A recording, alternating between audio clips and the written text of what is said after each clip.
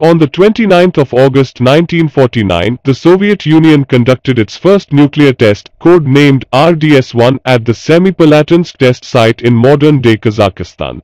The device had a yield of 22 kilotons. The bombings of Hiroshima and Nagasaki in 1945 had prompted Joseph Stalin to order the development of nuclear weapons within five years. The young nuclear physicist Igor Kurchatov was charged with leading this project.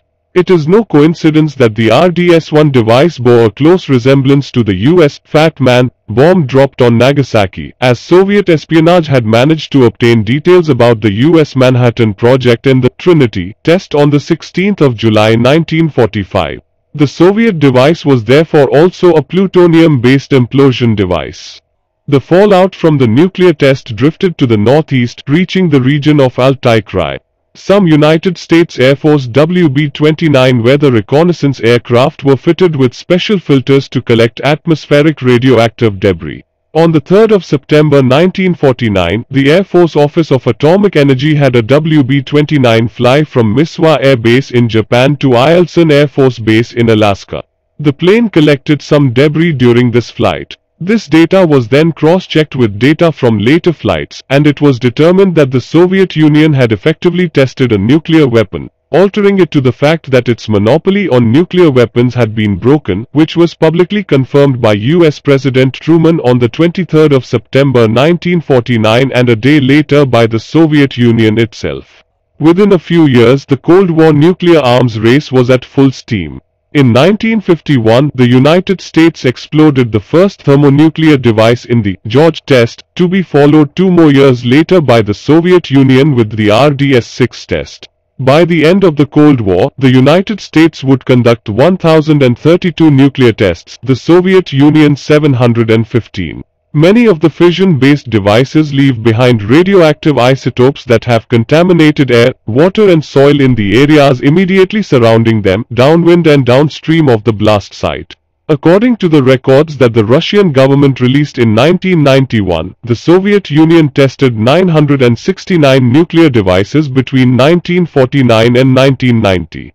Soviet scientists conducted the tests with little regard for environmental and public health consequences. The detrimental effects of the toxic waste generated by weapons testing and processing of radioactive materials are still felt to this day. Even decades later, the risk of developing various types of cancer, especially those of the thyroid and the lungs, continues to be elevated far above national averages for people in affected areas. Iodine-131, a radioactive isotope that is a major byproduct of fission-based weapons, is retained in the thyroid gland, and so poisoning of this kind is commonplace in impacted populations.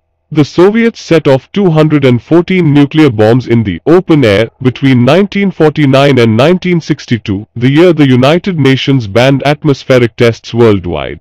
The billions of radioactive particles released into the air exposed countless people to extremely mutagenic and carcinogenic materials, resulting in a myriad of deleterious genetic maladies and deformities. The majority of these tests took place at the Semipalatinsk test site or STS, located in northeast Kazakhstan. Testing at STS alone has exposed hundreds of thousands of Kazakh citizens to the harmful effects, and the site continues to be one of the most highly irradiated places on the planet. When the earliest tests were being conducted, even the scientists had only a poor understanding of the medium and long-term effects of radiation exposure.